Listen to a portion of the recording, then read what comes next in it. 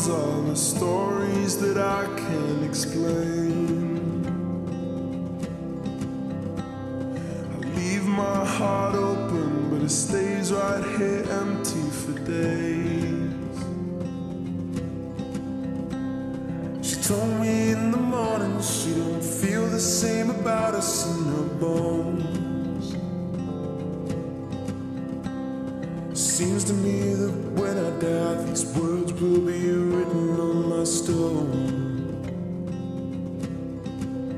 And I'll be gone, gone tonight. The ground beneath my feet is open wide. The way that I've been holding on too tight, with nothing in between. The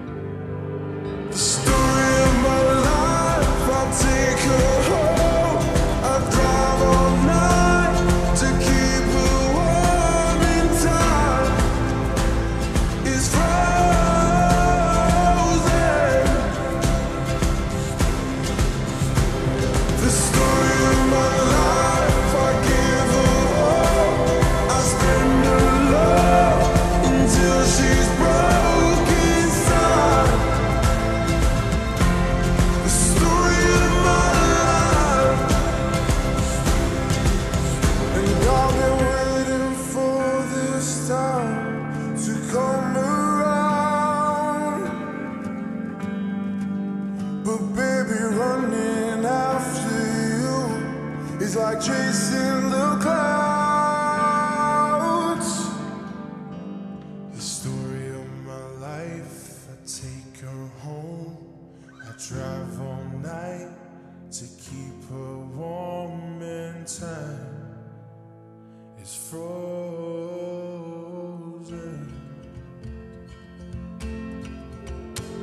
The story